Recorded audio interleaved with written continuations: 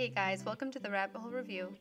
Today we're going to be reviewing six different instant cameras the Instax Mini 90 Neo Classic, Instax Mini 70, the Instax Square 6, the Instax Wide 300, the Canon Ivy Click, and the Lomography Instant.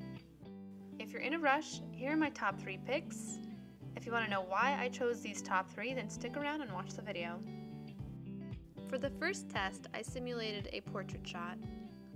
For the Neo Classic portrait mode, I didn't use a flash, which is a huge pro for this camera. You can actually disable the flash, which is great. Um, and the portrait turned out pretty well. Here you can see the Instax 70 perform just as well as the Neo Classic. However, this camera is very basic and you cannot disable the flash.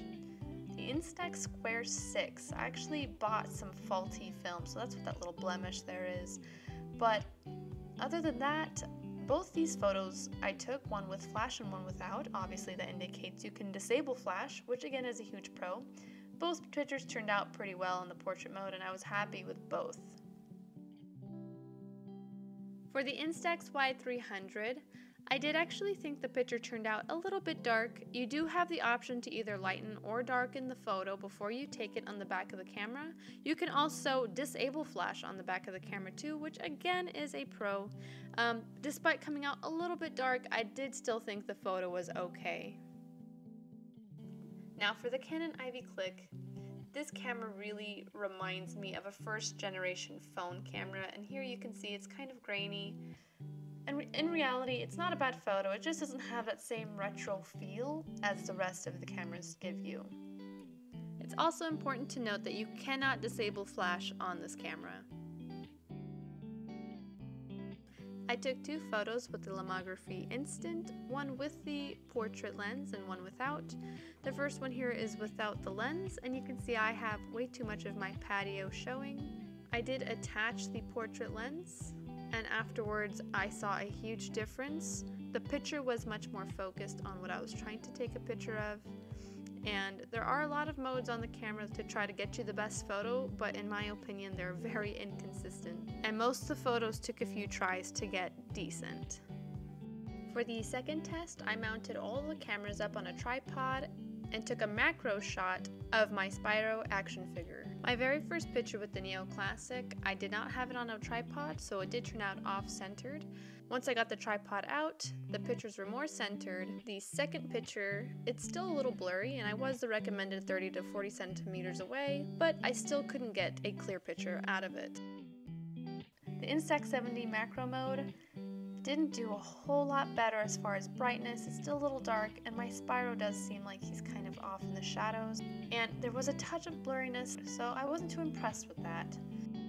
The Instax Square 6 definitely had one of the nicer photos of the macro test. However, my Spyro did seem kind of far away, especially for a macro mode.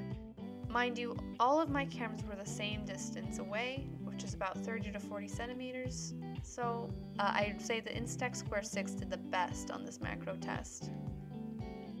For the Instax Wide 300, I did a test first without the macro attachment. The first picture came out really nice and bright, but blurry and off-centered. The second picture with the attachment was much more centered, but a little more dark. It could have been because my sun went away. And it was still a little bit blurry, but otherwise much better. For the macro mode, the Canon Ivy Click actually did pretty well. Despite being grainy, it, it's a nice, bright photo, and it's actually not blurry. This was definitely one of the better photos from the test. For the Lomography Instant, again, very unimpressed with the outcomes of these pictures. It was very hard to find the right modes to try to take the right photo, and honestly both settings I tried failed as you can see one is too bright and one is way too dark. Couldn't seem to figure out what the right setting was for that camera. On to the third test. The first picture with the Neo Classic turned out alright. Uh, I didn't really, I wasn't impressed with how bright the light painting was, so I decided to try to do it with flash.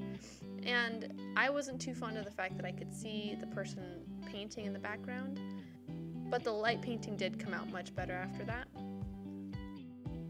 The Instax 70 does not offer a bulb mode, so this was just a picture with flash.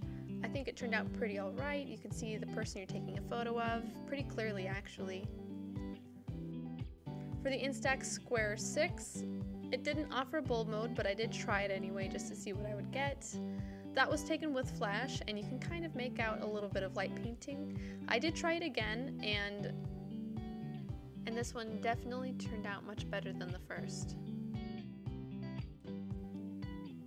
The Instax Wide 300 also does not offer bulb mode, so this was just a photo at night with flash. Much like the Neo Classic, the person you are taking a photo of shows up pretty nicely.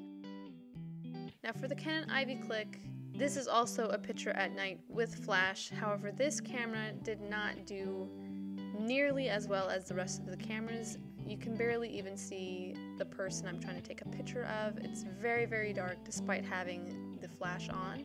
And I was really unimpressed with this photo. For the Lomography Instant, they do advertise the prolonged exposure or the bulb mode as a special feature of the camera. However, I was extremely unimpressed with the outcome. I did try it a few times, but again, this was the best photo that I could get out of the camera. And for a camera that offers this as a special feature, I was pretty disappointed. So this is kind of a bonus test. The cameras that offered a multiple exposure mode, I went ahead and tried to play around with those settings. Here it is on the Neo Classic. This is my little dog Chewy. I tried this first photo with flash and the second photo without flash. The second one without flash, you can barely make out what that even is, but all in all, it was really fun trying to play with this setting. However, my little dog Chewy was way too playful of a subject, so I ended up having to switch to something a little more stationary.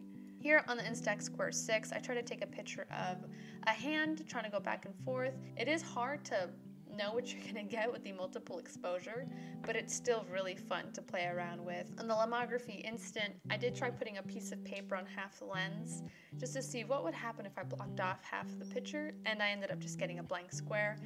But either way, this multiple exposure mode is really fun to play with. Pros for the Neo Classic. It does have two different buttons for you to take the picture with depending how you want to orient your camera. The size of it is also very portable. Aesthetically, it's a really cute retro looking camera. And for the price point, I think this is a great camera. This was my number one pick. Cons for the Neo Classic. I know it's a mini sized camera, so it does use the mini film. Um, but personally, I just wish this came in a square. That's my personal preference. The Instax 70 is my number two pick. Just like the Neo Classic, it does have a selfie mirror in the front. Despite being simple, it does have a few modes to offer. And the Instax 70 does use the same mini film as the Neo Classic. This one is also nice and portable, and aesthetically, I love how it doesn't look bulgy or ugly like the Instax Mini 9 or the Instax Mini 11, and this camera comes in a ton of different colors. Another pro is for the price point, this camera is really good. And if you're not trying to get into all the modes, this is a really great basic camera to have. Cons for the Instax Mini 7, I did not like that I couldn't disable flash, and I think that's what hindered some of the quality of the photos. Pros for the Square 6. I did like the size of the photos. They're much closer to the original Polaroid sized photos, which is a nice classic look.